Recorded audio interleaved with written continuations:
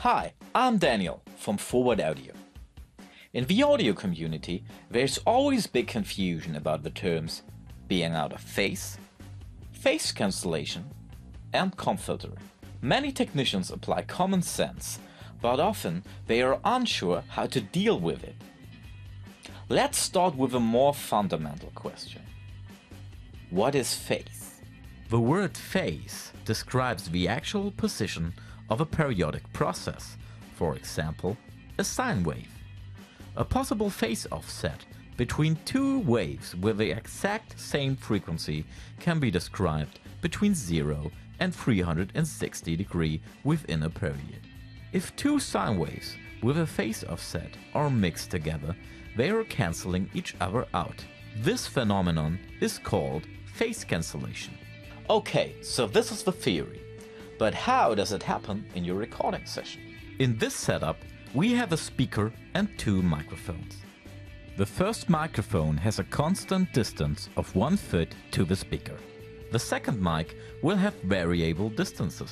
We'll use white noise to get a good impression of the phase cancellation occurring in this setup.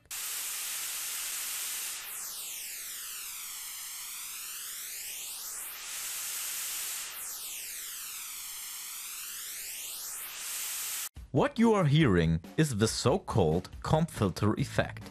In the whole frequency spectrum, different notch frequencies with 180 degree phase offset and peak frequencies with 360 degree phase offset occur, resulting in a heavy distortion of the original signal. Keep in mind that this horrible distortion is always present when you record a sound source with more than one microphone whenever the distance of the microphones to the sound source are not equal. And that's the case in most of the situations. The negative consequences are an altered pitch perception, an altered room impression, localization problems, and of course the distortion itself. One of the misleading concepts is to call it a phase offset or phase issue. Actually, the term phase is always bound to a specific frequency. Therefore, you can't generally talk about a phase offset between two microphones. It would be more precise to call it a time difference. Besides of the distances between microphones, the volume difference is also very important.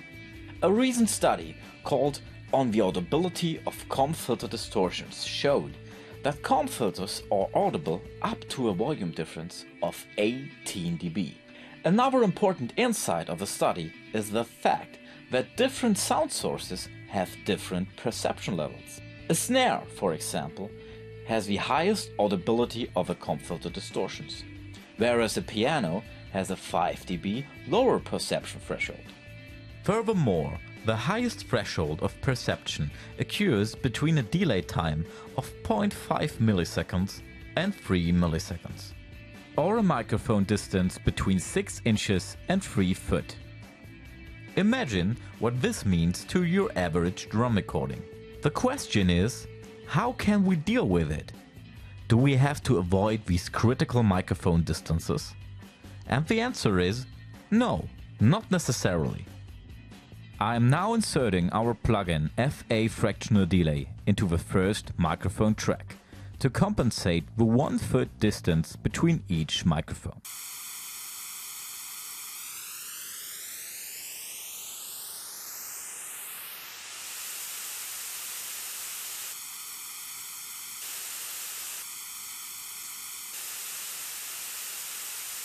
As you can see, if the time differences between both signals are correctly compensated with a sample delay, no comb filtering or phase cancellations take place. With this method, you can get rid of these kind of phase issues very easily. Of course, the time alignment gets increasingly complex the more microphones are in use.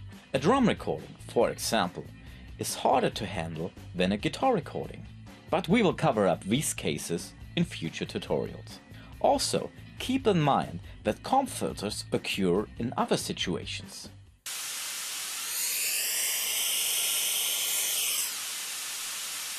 This is an example of an acoustically caused comb filter. It's caused by the time delay that's produced by acoustical reflections. These kind of comb filters are present in every recording session and can only be reduced by acoustical treatment and a good microphone placement. In your control room, acoustical comb filters occur caused by the reflection of the monitor's sound on your desk. So even in your control room, it's a good idea to check different setups for comb filtering issues. Let's summarize. Comb filters are created when copies of a source signal with a time variation are mixed together. This can occur in a non-acoustical environment by electrical or digital summing of audio signals, or acoustically by reflection of sound waves. Both result in a frequency-dependent cancellation or summing of the original. Acoustical comb filters can be minimized by acoustical treatment and taking care of mic placement. Non-acoustical can be time aligned with audio plugins like FA fractional delay or FA sample delay.